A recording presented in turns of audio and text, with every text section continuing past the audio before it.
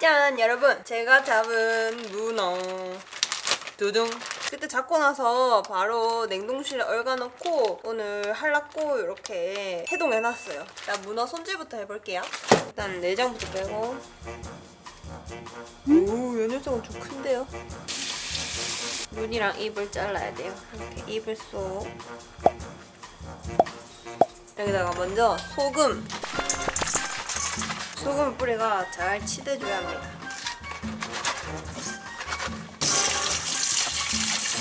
다음에는 밀가루. 밀가루 잘 치대줍니다, 이렇게. 문어 손질 끝. 두둥. 이건 바로 무입니다. 엄청 크죠? 이렇게까지 큰 무가 필요 없는데 이거밖에 안 풀더라고요. 아 여기서 갑자기 왜 무가 필요하면요. 바로 오늘 할 요리는 대구에서 엄청 유명한 반야울 무침회를 할 생각입니다. 그거를 문어 가지고 해보려고요. 원래는 오징어를 가지고 하거든요. 초무침회 이렇게 만드는데 오늘은 이 문어를 가지고 대구식으로 반야월 무침회입니다. 두둥! 이렇게 큰 무 샀으니까 무 들어가는 거 많이 해 먹어야겠어요. 나무 젓가락보다는 얇고 성냥개비보다는 굵게 썰어야 되는데 예?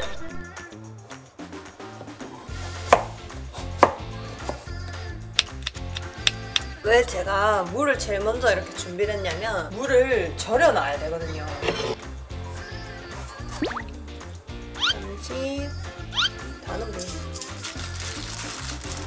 잘 버무려가 20분 절여 놓을게요. 자, 물을 절여놨으니까 이번에는 문어를 숙회를 만들어야겠어요. 문어를 삶아볼게요. 설탕 한 스푼, 식초 한 스푼. 이렇게 해가지고 문어를 삶으면 문어가 살이 부드러워집니다. 자, 물 끓을 동안 무침에 들어갈 채소를 손질해 놓을게요. 어, 물이 끓습니다. 문어 투하. 이렇게 해서 문어는 12분 동안 삶아보도록 하겠습니다. 이번에는 양파. 무침에는 수지 미나리 맛이죠. 음, 미나리 냄새. 야채 준비 끝! 자 그럼 요번엔 뭘 할 것이냐? 여러분 요 반야월 무침의 활용점정은 바로 납작만두거든요. 근데 제주에는 납작만두 파는 데가 없더라고요. 그래가지고 뭐 만들면 되죠. 그래서 만들라고 만두피랑 당면이랑 사왔어요. 없으면 만들어 뿌면 되죠. 일단 요 당면을 불려야 돼요. 따뜻한 물에 불가 놓을게요. 그럼 이제 뭘 할 것이냐? 양념을 만들 양념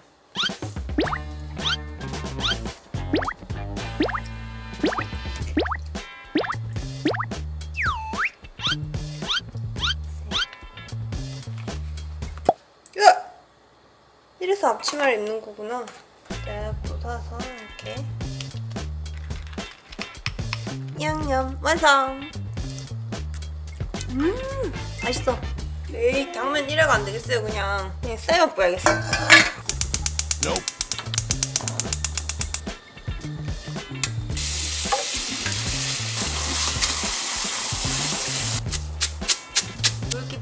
동안 원래 납작만두에는 부추랑 당면이 들어가 있거든요. 부추가 없어서 부추 대신 파 그냥 쫑쫑 썰어 넣으려고요.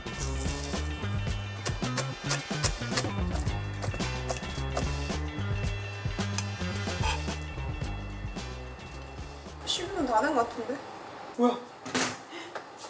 어, 문어 타이머를 제가 일시 정지 시켜놔가지고 12분 더 넘게 삶아봤어요. 어, 찔기면 어쩌지? 여러분들은 12분 삶으세요 꼭. 나 얘는 한김 시켜놓을게요. 소금. 원래 대구 납작만두 안에 소가 뭐 굳이 없다시피 하거든요. 그래서 조금씩 넣으면 될 것 같아요. 문어가 식을 동안 만두를 만들어 놔야겠어요. 소를 요만큼만 넣고 닫아버려요. 물을 좀 묻혀가 꼭꼭꼭 안에다가도 이렇게 이렇게 물을 쫙 묻혀가 물을 지금 미리 묻혀놓으니까 잘 되네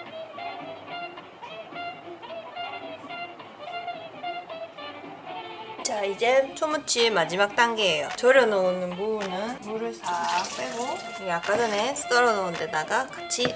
투하.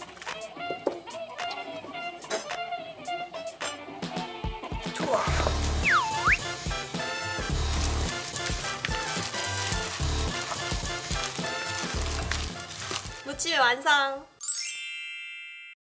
자 이제 무침에는 완성했으니까 납작만두도 빨리 완성해서 빨리 같이 먹어요. 납작만두는 끓는 물에 일단 3, 4분 정도 삶아야 돼요. 삶는다 해야 되나? 약간 데친다 해야 되나? 이걸 건지고 체에다가 해서 물기를 좀 뺄게요. 으! 완전 속에 다 티났었네. 안 그래도 없는 속 다음은 얘네들을 구워줄 거예요. 약간 바삭하게 뭐 티가 준다는 느낌으로. 기름을 쪼쪼쪼쪼쪼쪼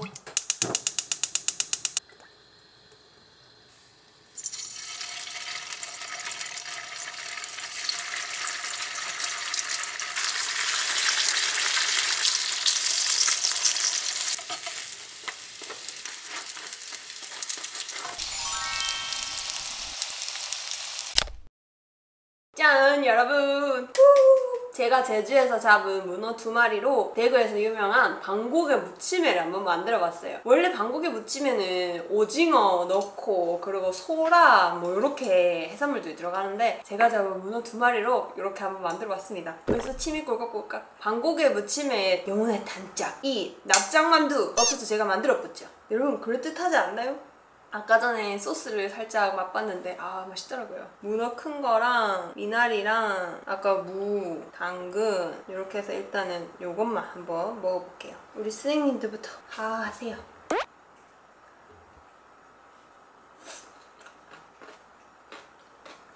음 맛있다. 와 진짜 맛있습니다 여러분. 앵식당에서 만든 거 중에 손에 꼽히는데요. 미나리가 너무 향긋하고 음, 문어도 아까 제가 타이머를 잘못 맞춰놔가지고 12분 넘게 썰어 붓는데도 안 찔리고 쫄깃쫄깃해요.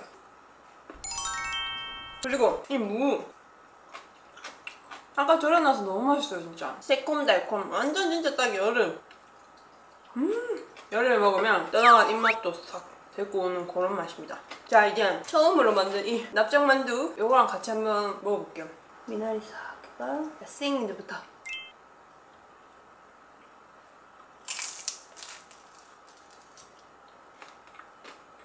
음.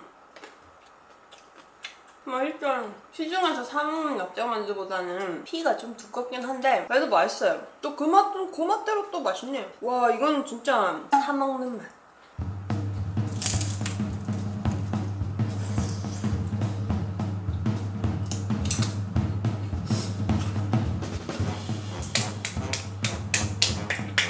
진짜 맛있죠 무침에는 오징어를 해야 맛있을 줄 알았는데 해도 엄청 맛있어요. 하긴 뭐 뭘 해도 맛있을 것 같긴 해요. 맵싹하요. 찌.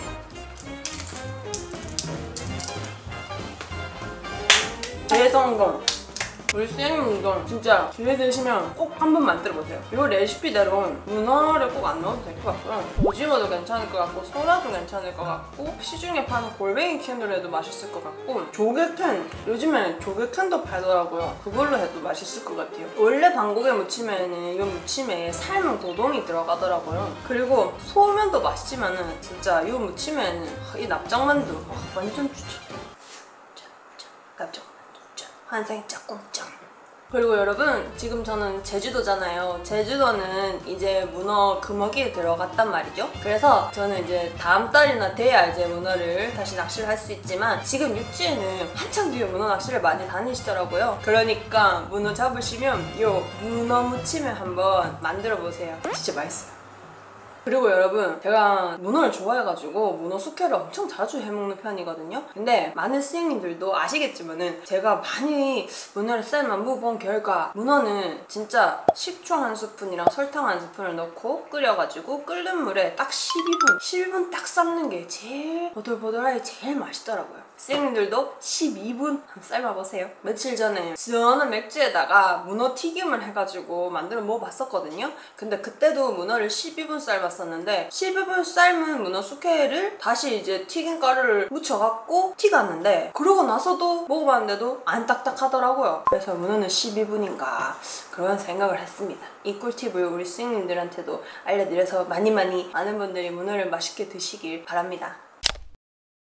자 여러분 오늘 제가 제주에서 잡은 문어 두 마리로 요 대구에서 유명한 방곡의 무침회를 만들어 봤는데요. 아 방곡의 문어 무침회죠. 완전 결과는 대성공입니다. 우리 선생님들도 꼭이 레시피대로 한번 해 드셔보시길 강력 추천드려요. 그리고 애지간함은 납작만두는 사 드세요. 왜냐면 이게 맛없다는 건 아닌데 귀찮잖아요. 사 먹는 게 더 효율적일 것 같습니다. 음.